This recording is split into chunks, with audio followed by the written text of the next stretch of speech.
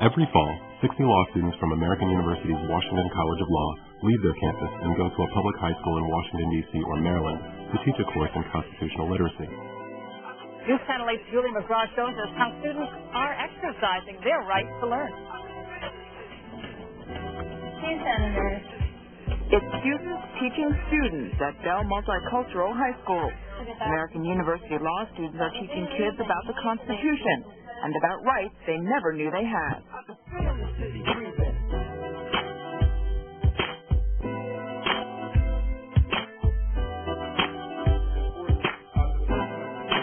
We started off uh, small. We sent 25 law students into some public high schools.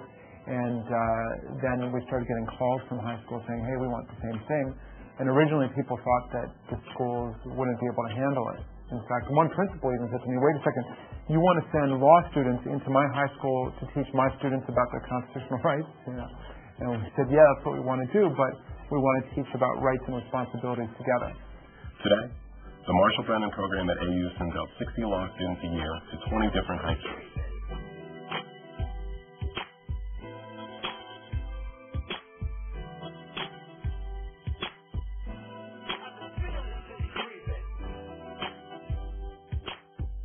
We the Students course is organized around Supreme Court cases that affect the rights and responsibilities of America's high school and junior high school students.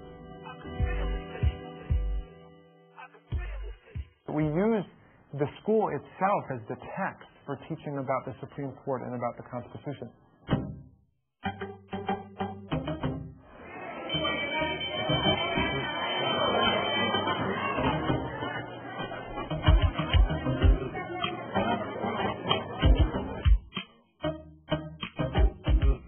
Changes everything. This means that the police do not need probable cause to seize you.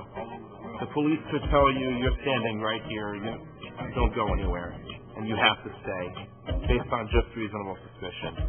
Bef- Before this case, that would have been a seizure if they didn't have probable cause, and everything that they had would have been thrown out, right? Watching the news yesterday about, um, you know, teenagers, uh, especially um, boys who are wearing baggy pants and everything. Cops going going to have probable cause to arrest them because they might conceal a, a weapon or something because of the violent gangs around D.C. And my mother was like, you know, they're going to arrest you because you're wearing baggy pants, so you stop. You better stop. You better put a bell on or something. I was like, man, I know my rights. See, I like to learn by having fun and learning at the same time, and that's what they provide me in the class. Recently, we just got over the unit with searches and seizures and how they're different for when you're in school and you're out of school. So it's cool to understand about how it affects you personally. I learned that we have more rights as people in the United States than we think. Because um, even the police have to answer up to a certain power.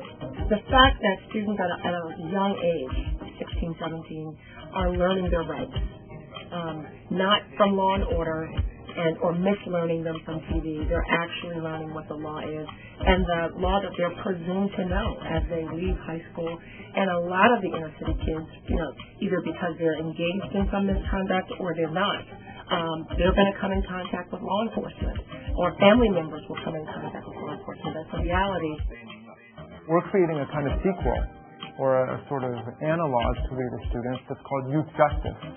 And it's for those kids who end up getting channeled not so much through the educational system, but through the criminal justice system.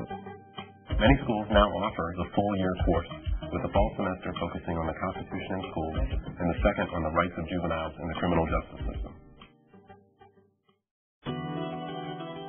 The Marshall Brennan experience now extends far beyond the classroom. If there's somebody you can practice with tonight, a friend or a family member, somebody you can just do your argument in front of and have them, you know, sort of ask you questions. The law students coach their students in the metropolitan-wide Karchmer High School Moot Court Competition, the only appellate constitutional law competition for high school students in the country.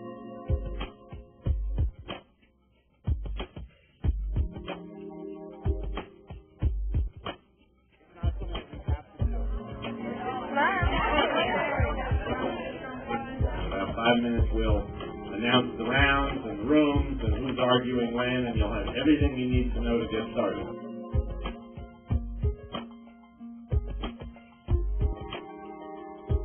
The issue in this case is whether executing juvenile murderers of ages 16 and 17 violates the Eighth Amendment's ban on cruel and unusual punishment.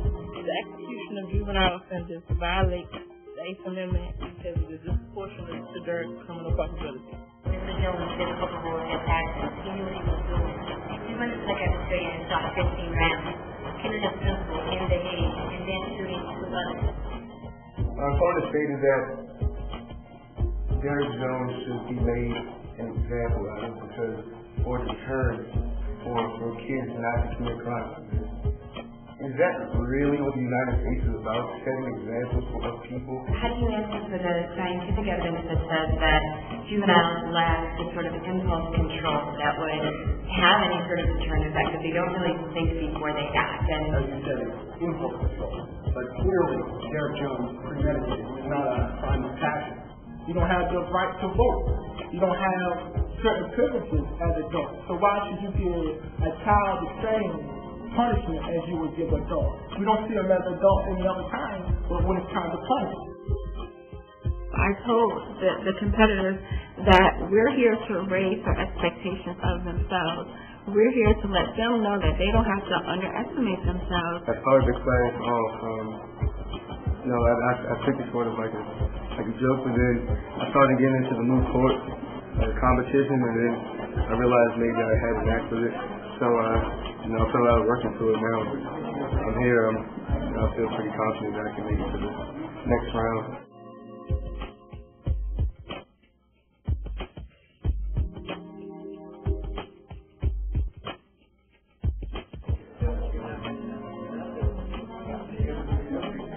And if you have this heinous event, why shouldn't we make sure that there's an appropriate deterrent in place? I agree that Derek Jones should be punished for his crime. What I would like to argue is that Derek Jones is not thinking as a child and he is mature enough to take on respons- responsibilities of an adult. And Derek Jones going remorse, he concluded that he was sorry for what he had done. He realized later, but not at that moment, what he had done and how it affected him and how he was wrong. This is not uh, a global issue. This is what the people of our country have decided that they deem necessary. Supreme Court, the federal government, they are to allow states to do as they wish as long as it adheres to the United States Constitution, which in this case it does not.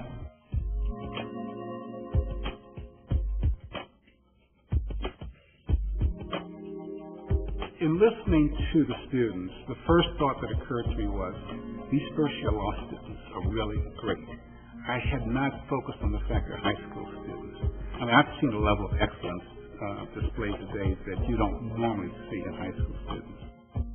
When I think about how it was them that overcame their nerves, they overcame um, so many barriers on their own. It was their practice, it was their parents, and it's it's almost impossible to ever take credit for that. You almost feel happy you have anything to do with it, and so the word humbled seems appropriate.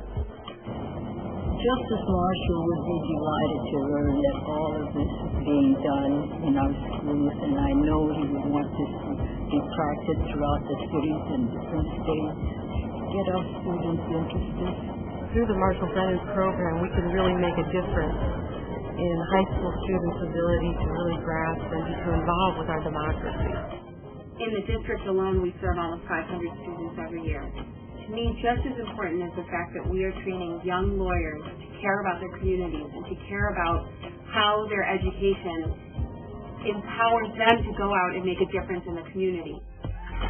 Students are also led by the Marshall Brennan Fellows to participate in the program's essay competition, poetry competition, and arts competition, all dealing with constitutional themes. Free to express yourself with any combination of arts not seen before. Free. Free to speak where your feet might stop. Free. Free to gather your children and praise to the thousand skies above. Free. You are set free with the First Amendment right. I would like to thank my teacher, Mr. Conroe. Because Mr. Conroe, she dedicated to teaching us whatever she knows. It's times when they have to go home and read out papers, and they may not have to, but you know, they do it anyway. Program, but in the world of law. I want y'all to feel part of my life.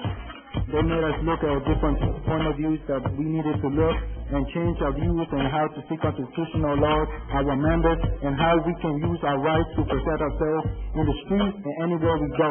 Because of them, we we now can go to school and we can tell our teachers when they're doing something wrong. So, we want to thank you for that.